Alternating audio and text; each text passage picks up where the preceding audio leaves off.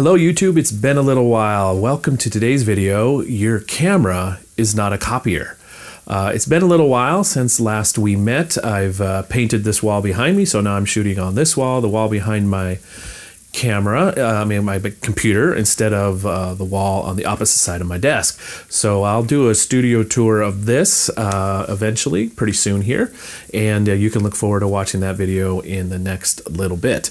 Anyway, on to today's topic your camera is not a copier.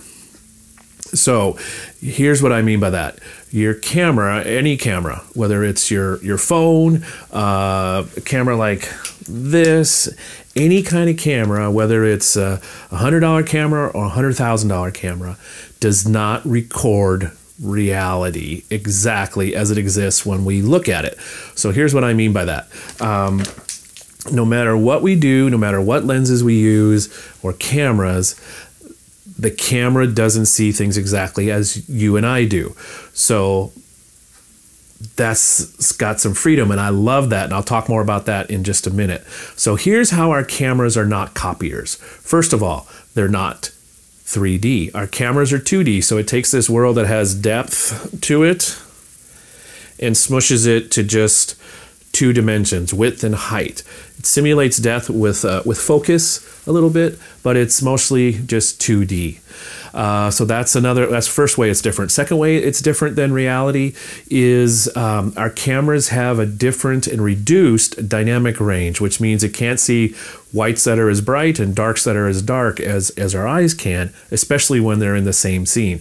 So if it's some someone sitting in front of a window, when you take a photo of them, there'll be a silhouette. Whereas when you're looking at them, uh, you can see them and, and what's outside. So, um, technical limit number two of cameras not being a copier. And number three, and maybe the biggest one and somewhat the most powerful, is that our cameras don't have peripheral vision. So when you and I are out looking at the world and we're looking at whatever we're going to take a picture of, we see this, our main part of our vision, but we also see the peripheral, the 180 ish degrees uh, which is all the stuff around the thing that we're pointing our camera at. So our camera has a frame. And when you take a photo, the world doesn't exist outside of this. Uh, there's nothing out here. It's only inside. And that's really, really powerful. Uh, by choosing what you put in this box and how you arrange this box, that's what lets you, the photographer, decide what the world is. And there's a lot of power and creativity in that. So that's one of the things I love the most. And one of the many, many things I love about the fact that your camera is not a copier. So here's what else that happens when your camera is not a copier. Um, you don't have to be as technical necessarily. Uh, if I'm not trying to reproduce exactly what things are, then um, you know I don't have to get exactly the right settings to uh, mimic what it looked like. I don't have to worry as much about gear. I don't need the latest gear, the most expensive gear. Um, I love gear, but uh, there's a lot of freedom in not stressing about the gear itself. Using uh, this as the most important part of your gear, your brain, your creativity, your heart your experiences, all those things that help you tell stories with photos besides just making it a copy of what the way reality was. Uh, another thing I love about uh, the camera not being a copier is now that I'm not trying to reproduce exactly what was, I can capture, hopefully, the beginning of the way it felt to me. So I can add a layer of emotion, a layer of feeling, a layer of stories into my art I'm creating, this creative process that isn't exactly real. There's a lot of freedom there. Uh, I love that. So for me, my camera becomes because I'm not a I'm not a mechanical artist. I, I don't draw very well. I don't. Uh, when I put stuff together, there's always extra parts, even with IKEA stuff. Um, so uh, the freedom to have this digital tool that interprets what's up in here and here, and then lets other people see it, uh, is super powerful for me. Um, so um, it becomes my paintbrush. It becomes my my guitar, uh, my lump of clay. Is my camera now, and and I'm so grateful for that because those other tools don't work for me. And I think for most people, photography, whether you're using your phone or a camera, becomes a really accessible art form of creativity and expression, of telling stories, expressing feelings that um, all of us have often on our in our pockets. So I want to help people explore that, understand it, uh, leverage it, uh, try new things that they normally wouldn't do. One of the ways that um, this freedom to not capture exactly what was happening uh, gives me freedom is uh, now I have freedom to play with exposure. I don't have to reproduce the light exactly as it existed. I can add or take away or do a little bit of both try different things, experiment. Uh, I don't have to just stand at my normal height where I look at the world. I can get closer to things or farther away or or try and get up taller or be down lower. I put my camera in a place using composition that um, is a place I don't normally put my eye. So it gives me lots of freedom. And then last, I have freedom in what I do in post production in in software how I maybe interpret colors, interpret the light, uh, maybe change the composition, uh, finish the story uh, to make it mine, to make this photo, this image I captured of a real thing, something that is uniquely connected to me, and then hopefully other people um, will see it and, and appreciate something new and different as well. So let's look at some examples and talk about uh, how this works uh, visually.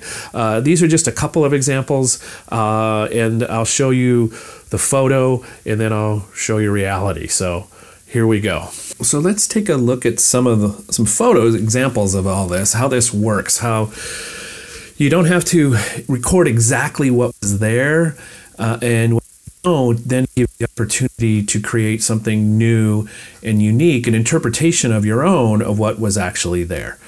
So we'll start with this image of um, the clouds, these clouds and the grass, and it kind of feels like maybe I hope it feels like you're out. Uh, you know, somewhere a little ways away from a city, maybe even quite far away. And in the, it's it's in a parking lot of a shopping center in in Sammamish where I live. Uh, so we've got a a T-Mobile and a Jersey Mike subs and a nail salon and a Chipotle. But but that's not the star of this photo. I mean, I'm standing there and that's what I see, but that's not what I want to show. So I'm interpreting reality. My camera is interpreting reality anyway. So I'm going to go ahead and reframe reality to be the dramatic clouds and the grass just minimize it, hide the things I don't want, use that frame to tell a different story that um, is more expressive of how I'm feeling and uh, what I want people to feel when they see this image, or I hope they feel. Uh, going to do a similar thing here with this image of the the tree silhouette at sunset. Uh, so watch this uh, sunset happen for for quite a while, and uh, about 40 minutes. And uh, as it evolved, this the shape kind of happened around the tree. It kind of started framing the tree. And uh, when I got back and looked at the photo uh, in software in Lightroom, I was thinking about Stranger Things. I think I'd been watching it.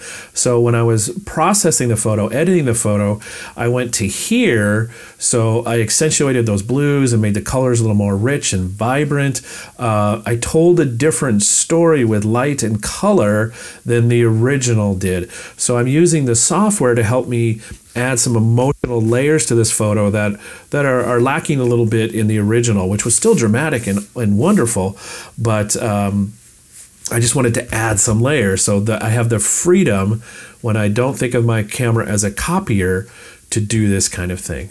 And even more so, for example, even choosing one of the ways you can choose to not have your camera be a copier is on a in a photo like this is to use uh, a very dramatic kind of light it's like at sunset here versus going in the middle of the afternoon. I mean, it's still dramatic clouds, but it doesn't have the same emotional contact content impact of that dramatic uh, cloudscape with the with the light and the color.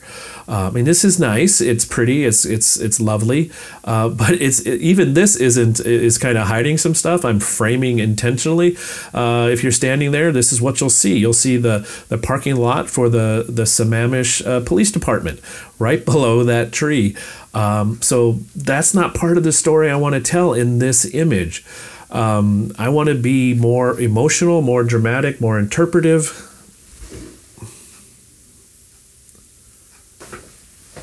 Okay, so I've got one more example to show you, and that uh, is is the more, more one of the more recent photos I've taken of a, a, misty sunrise as the weather around here in winter was changing from a cloudy, I mean a rainy pattern to a couple days of clearing. So we'll get some fog and mist in the in the morning.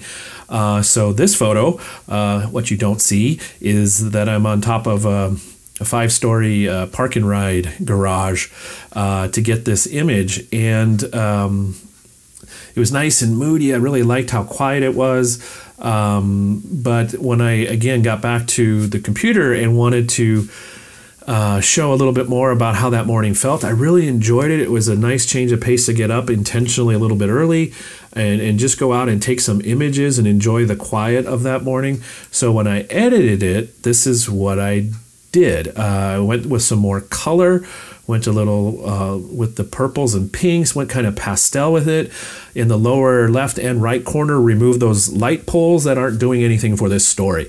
So, yes, it's an interpretation. It's not uh, the camera in copier mode. This is me being intentional about adding a layer of uh, emotion through the edit. Uh, so that's one of the most powerful things you can do with once you realize your camera doesn't need to be a copier and it isn't a copier, is you get to add uh, feelings and emotion that ha- uh, that uh, are reflective of how you are feeling about the photo or how you want other people to see as they look at your photo. So I hope that was helpful uh, to think of your camera not as as a copier. You're not exactly duplicating reality, and there's so much freedom in that. That's where the fun is. That's where you get to play with the frame and decide what goes in here. This is the world of your photo, and it's yours, and you get to decide what goes in there. So I hope you have a lot of fun experimenting with that, trying new things. I hope you enjoyed this video. Uh, please love to hear your comments. Please feel free to leave those uh, below. If you have some photos you want to share, uh, maybe a link to a website or your uh, Instagram, please leave those in the comments. I'd love to check out your photos and uh, and see what you're doing. Uh, follow along on your journey to more interesting photos.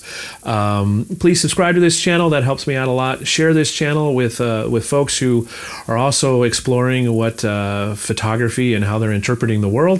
Uh, since they know too that the camera is not a copier, I'd love to have you share this video, and I really appreciate your doing that.